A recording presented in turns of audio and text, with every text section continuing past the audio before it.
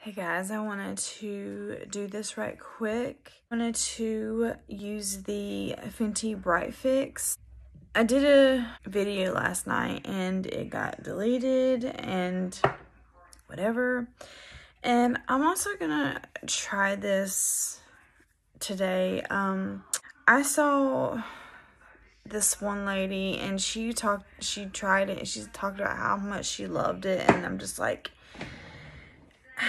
it just doesn't work for me. So we're gonna, you know, I gotta get that off. I'm going to prime as usual. The First Aid Beauty Niacinamide Brightening Eye Cream. This is just what I always use.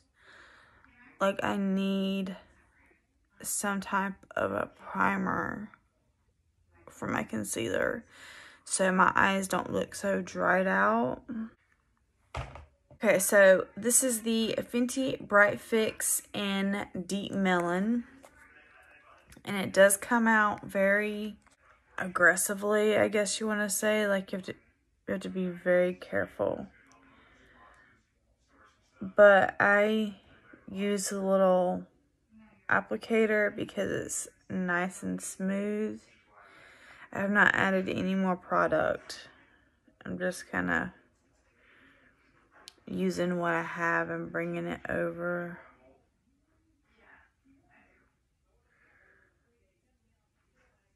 Okay. So I'm going to take a little bit more. I think the best way to do is just kind of squeeze out a little, not squeeze it down, squeeze it up and just let it come up. I'm going to use my finger to blend this out first. Just because it's just a sheer formula and it's very lightweight. I mean, look at that. That just, I mean, this is amazing.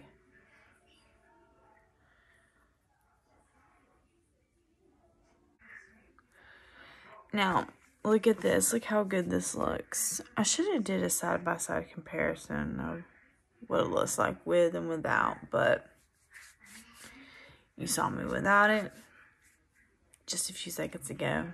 Probably do like a steal of what I look like with and without. To use the Y356. I haven't used this on camera yet. I'm to see how it looks. I still think it's kind of light.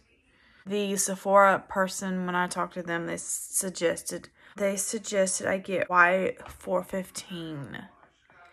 And I was like, uh, no. See, that still looks super light. I'm going in with the Kosas. This is 6.6.2 in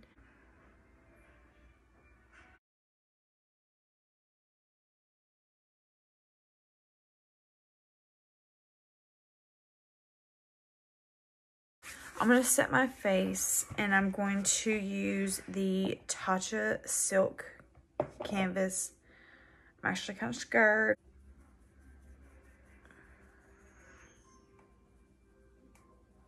I think maybe when I was lighter, maybe it just didn't look good. Oh, I put too much. well. It's, mm, we'll just wait and see. I have not set my concealer, by the way. And that helps a lot when it comes to it not caking up right here. I've been using the Pat McGrath. We'll try this little Cheekster brush by MAC. And I'm just going to tap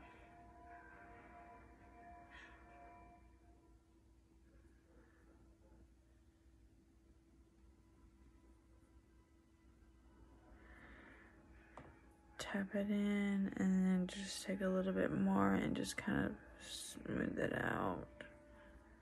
Wow, that looks freaking amazing. Okay.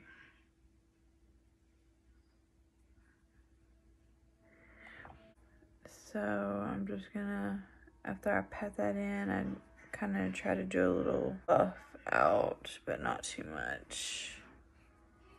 Looks absolutely amazing. I mean, it looks superb. Oh my gosh, that looks so good. Still don't know if this Y365 is my shade. I still think it's too white.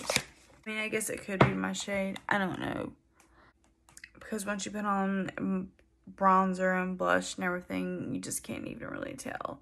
I'm scared to go darker because, like I said, I saw a girl, she did Y405 and it looked so orange but she made it work. I hate those words. Make it work. Let's make it work. We can make it work. I don't want to make my makeup work. My makeup should work for me. Anyway, I'm going to go and it's, I will see you guys later. Bye.